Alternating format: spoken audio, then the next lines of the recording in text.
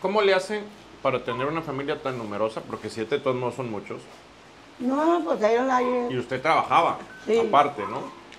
¿Quién cuidaba a los niños? ¿Cómo le hacían? No, pues ya estaban grandecitos los, mis hijos. Pues, ¿a- ¿quién era el, su hijo mayor? ¿Cómo se llama? ¿O se llamaba? Es de los de Mi hijo mayor fue el que se, el que se mató primero.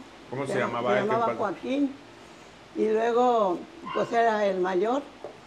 Y, y luego ya después, este, la muchacha, ah, esta fue la última que falleció, mi hija, esa que está ahí. Bueno, que Miriam la conoció muchos años, ¿verdad? Y este, pero pues el otro muchacho aquí en, aquí en este de carga, aquí por de Ruiz Cortines, ahí lo, también iba en su boche y lo arrastró un trailer. Se lo llevó un trailer. Ah.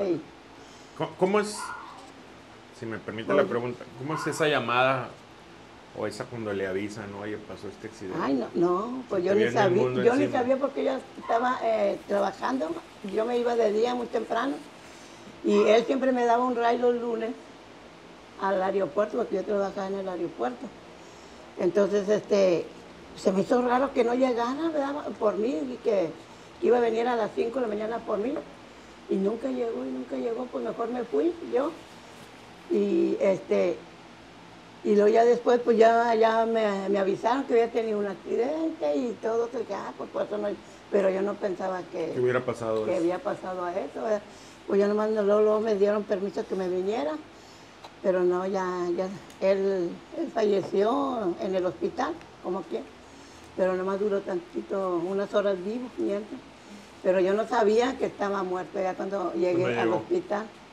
¿Me permites una servilleta, mi Sí. Sí, y este, Tú ahí parecemos cuerillas de agua y drenaje, tú llevas todos así, nadie le agarró la servilleta, ¿no? Perdón para los de agua y drenaje. ay, mal chiste, No, me, no van a, me van a cortar el agua estos cabrones. no me van a cortar el agua, no dije. Entonces ya llegó al hospital y ya Sí, está. no, ya, ella- él ya había fallecido cuando yo llegué. Dice Este, que una amiga mía que ya falleció perdió a su hija cuando la niña tenía 15 años ahí en Fuente. y nunca se repuso. No es lo mismo perder a los papás que a los hijos nunca.